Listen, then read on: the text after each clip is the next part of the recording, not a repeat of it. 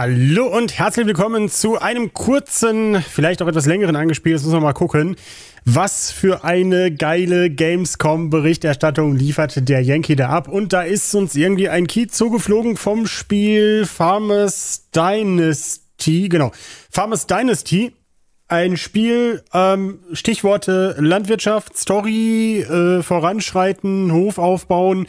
Äh, das ist mir in dem Zusammenhang zugeflogen. Was mir hier auch zufliegt ist, das sieht mir so ein bisschen danach aus, als äh, wäre hier, äh, das meine ich jetzt gar nicht böse, als wäre der komplette äh, Asset-Katalog landwirtschaftlicher Sachen aus Unity zusammengepackt worden und daraus entsprechend eine Story gebaut. Ich habe auch eben schon gesehen, der alte, berühmte UIG John Deere stand darum. Das heißt, auch da scheinen irgendwelche Finger im Spiel zu sein. Schauen wir uns mal an, worum es hier geht. Und ich bin ganz ehrlich, habe keine Ahnung. Das heißt also, hier ein, ist ja jetzt im Trend ein Garderol Reacts to Farmer Dynasty.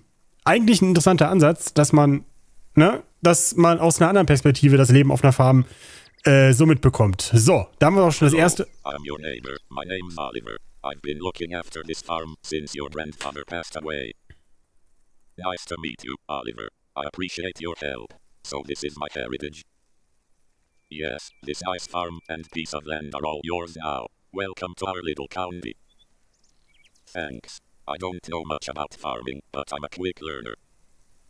I'm sure you'll fit in just fine. We are all good folk living here, and we help each other out. Please follow me. I'll show you around. So, das ist auch der äh, Placeholder der Placeholder für die äh, Vertonung. Das heißt also, es wird auch offenbar alles komplett vertont werden. Ich wollte gerade einen sehr miesen Witz machen, wollte sagen, ey, die haben sogar Dr. Stephen Hawking als Synchronsprecher gewonnen, aber ich glaube, das äh, würden dann wieder so ein paar Linke nicht so ganz verkraften. Deswegen habe ich das jetzt offiziell nicht gesagt. Ja, und das ist eben das, was mir jetzt gerade so ein bisschen aus dem äh, ich komme schon ganz durcheinander. The roof needs work, but you can have some sleep here, perhaps, or even store some food. Aus dem Farm. Ja, aus dem Farmexperten. Äh, da gab es ja diese Erweiterung, wo man dann halt auch Gebäude zusammenbauen und Dächer decken konnte. Und das kommt mir irgendwie daher so bekannt vor. Und deswegen, irgendwie ist da wieder so ein großer Topf mit Sachen zusammen. Ich bin mir noch nicht sicher. Aber ich schau mal, was passiert. It's empty now, but I'm sure you'll need it pretty soon. Ah, hier kommen also.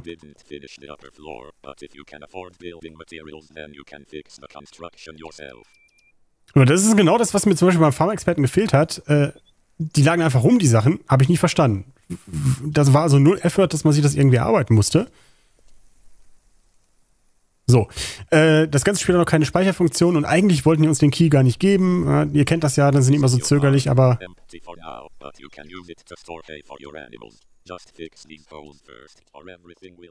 Ah, so wird der irgendwie ein bisschen leiser, okay.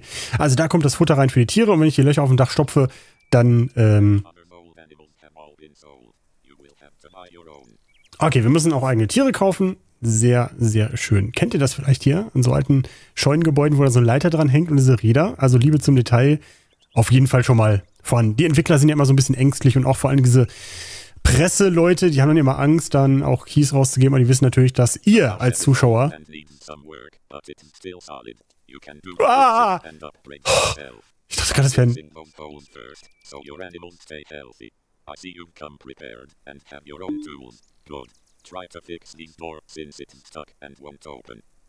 Ja, äh, die haben immer so ein bisschen Angst. Ähm, das ist natürlich der Vorteil bei uns im Kanal, haben wir natürlich Zuschauer, die das entsprechend einzuordnen wissen, dass es hier eine sehr, sehr, sehr, sehr, sehr, sehr, sehr, sehr frühe Version des Spiels ist und deswegen haben wir hier jetzt einen Hammer. Ah, siehst du, das ist nämlich das, was ich meinte. Jetzt können wir hier nämlich diese Tür, die hat, die ist irgendwie nicht ganz heile. Und jetzt kommen wir in den alten Kuhstall. Ach, guck mal, wie geil. Die Anbinder hier mit. Ja, wie kommen wir an? Ich bin doch schon hier drin. Kann ich. Ich auch jetzt erstmal hier. Garderol, der Heimwerker King. Da gibt es ja noch ein anderes Spiel, was wir auch auf der Liste haben. Äh, Home Improvement wollte ich gerade sagen, aber heißt das wirklich so? Ich weiß es nicht. Ähm, da sind wir auch dran, dass wir da für euch einen Key bekommen. Also jede Menge die Leiter. Ach, die habe ich im Winter. Okay, so, da können wir also jetzt hier aufs Dach steigen. Und dann hier hoch. Ja.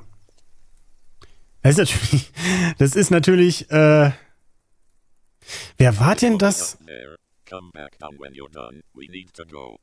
Wer war denn das, der das für, da muss ich echt mal recherchieren, wer das damals für Playway entwickelt hat, dieses System.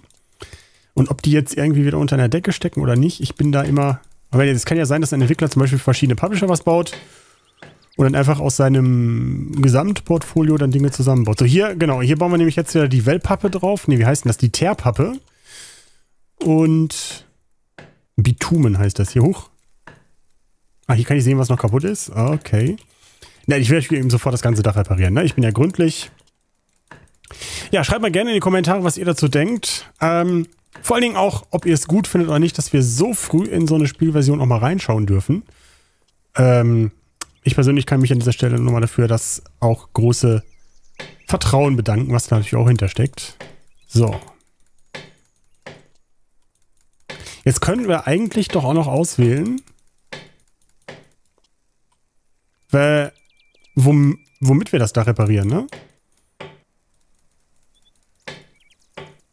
Das sind ja auch so Sachen, die, die erfährt man dann nicht. Ne? Ich glaube, wenn ich jetzt hingehen würde zu der äh, netten Pressedame und sagen würde, äh, jetzt mal hier unter uns beiden Gebetsschwestern, ne? Pass mal auf hier. Ne? Hier, die aus Osteuropa und so. Jetzt erklärt mal, wie habt ihr das gemacht oder was? Ich glaube, die würden damit nicht rausrücken, weil, ne? Business-Ziele, bla bla bla, kennt man ja. So, das Dach haben wir wieder äh, dicht. Mich interessieren halt solche Sachen, ne? Die Welt ist ja auch bekanntlich klein und die meisten Entwickler kommen ja auch untereinander eigentlich sehr, sehr gut aus. Es gibt, ich kenne eigentlich nur ein, zwei Entwickler, die gerne mal lieber nicht mit am Tisch sitzen. Ja, aber da möchte ich auch keine Namen nennen. So. Und bei denen noch andere nicht gerne am Tisch sitzen. Ja. Oh, mal Sonnenblumen. Hallo. Wo ist denn die Sonne? Also hier, liebe Entwickler, die Sonnenblumen drehen sich in einem Wettbewerbsprodukt immer zur Sonne hin. Ja? Das wäre eine schöne Sache. Außerdem die Windeffekte sind ein bisschen stark. Äh, Feedback wollen die auch immer haben, ne? Also das äh, dafür machen wir das, ja? So, was haben wir hier? Take a look at the greenhouse. You can grow some veggies here fast to earn some quick money. Ein you have to fix these holes so your plants can grow to best effect. Ein Gewächshaus. Also ich habe jetzt ein bisschen das Problem, dass ich das Gefühl habe, dass wir jetzt im ersten...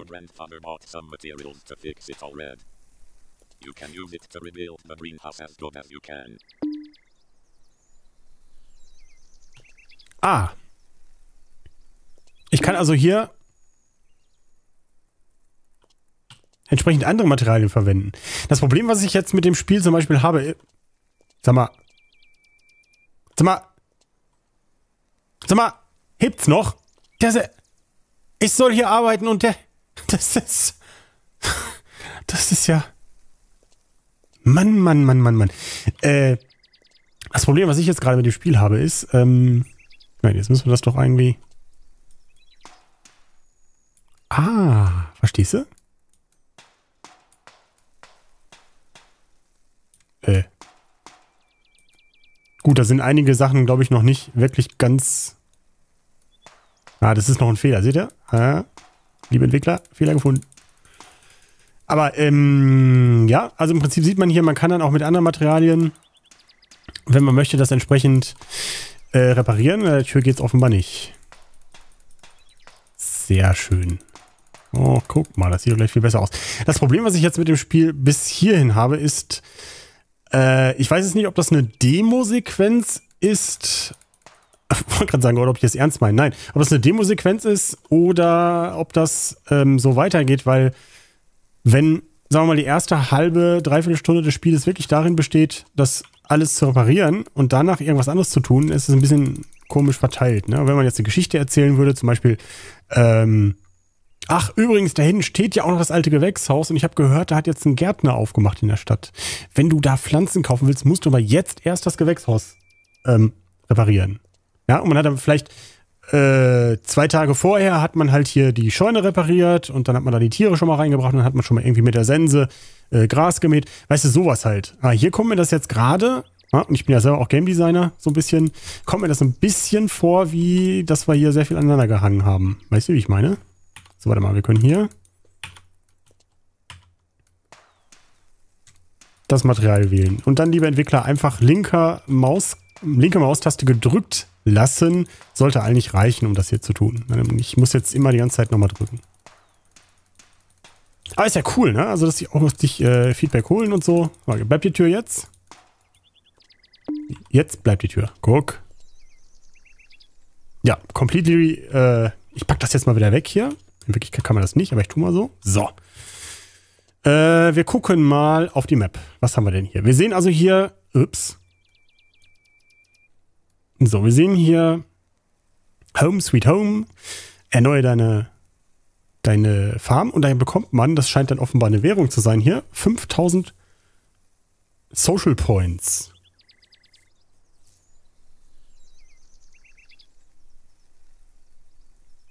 Und hier kriege ich 1000 Social Points, wenn ich zumindest die Tür repariere.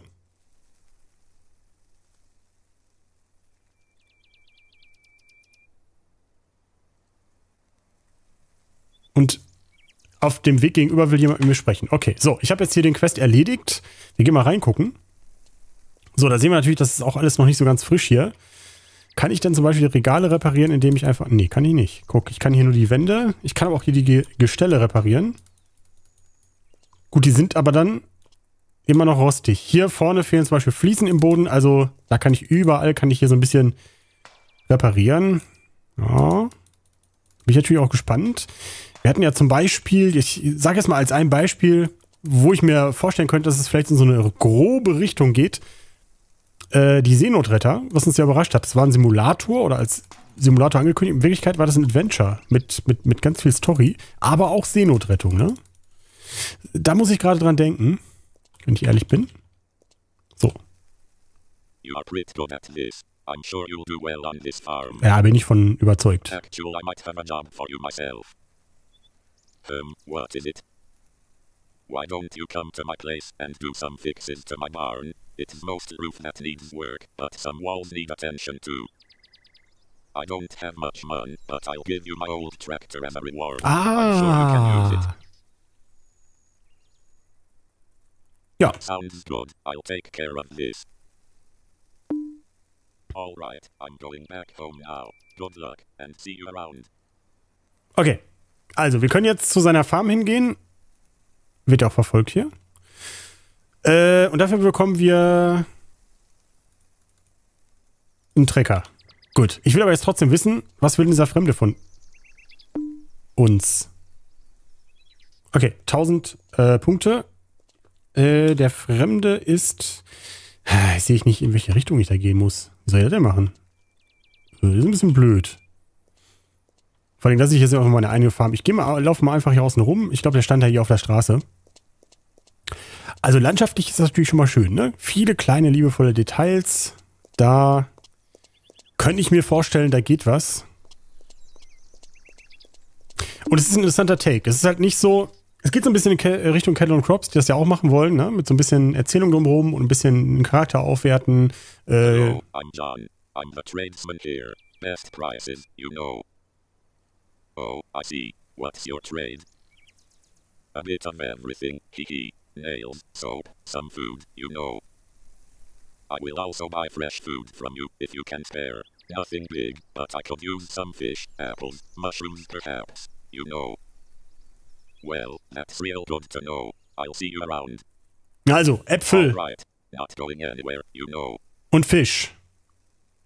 Äh. Good to see you. Can I help you? Äpfel und Fisch. Äh, wo kann ich Fahrzeuge kaufen? You can buy new ones in the vehicle store, but these are very expensive.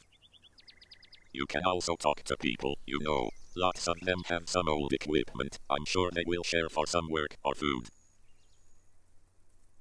Mhm. Care to trade? Not now, sorry. Invent panel is still in development. Perhaps later, you know. Äh, für die des Englischen nicht so mächtig sind, äh, möchtest du handeln? Nein, äh, mein Inventarpanel ist derzeit noch in Entwicklung. so, wir rennen mal zu äh, Jüngelchen hier. Kann ich das irgendwie anklicken, dass das. Bestimmt kann man das irgendwie, aber ich weiß gerade nicht wie. Jetzt habe ich es, glaube ich, angeklickt. So, da sehen wir, wo wir hin müssen. Und wir haben wirklich nichts, ne? Wir haben ein paar alte Hölzer rumliegen. Alles ist rostig.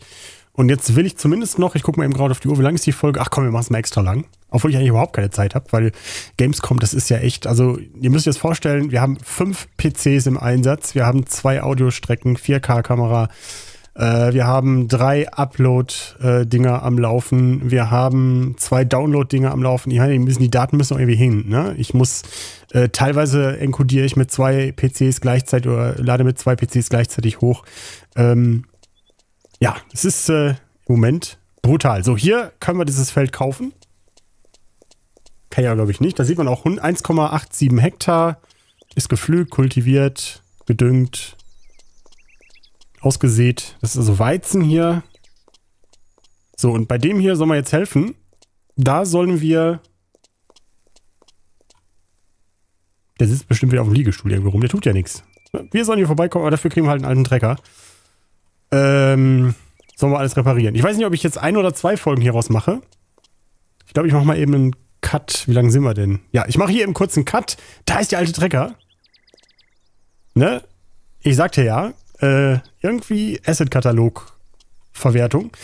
Ähm, dadurch ist natürlich das Problem, liebe Entwickler, ihr müsst natürlich dann auch die Texturen ähm, von den einzelnen Sachen, die ihr da zusammenbaut, noch ein bisschen aneinander anpassen. Äh, das war damals, als ich Cardo entwickelt habe, äh, da war ich echt begeistert, was so wirklich 2D-Experten aus sowas machen können. Ja, ähm, ich mache mal hier einen kurzen Cut. Wir sehen uns in der nächsten Folge wieder. Ich glaube, wir machen erstmal zwei Folgen zu Beginn, weil ihr seht, das ist noch eine frühe Entwicklung. Aber ich will jetzt nicht eine kilometerlange Folge machen. Das heißt, wir sehen uns in der nächsten Folge wieder, irgendwann in den nächsten Tagen, wenn ich dazu komme. Und dann verdienen wir uns den Traktor. Vielleicht ja schon morgen. Mal gucken. Also, bis dann. Tschüss.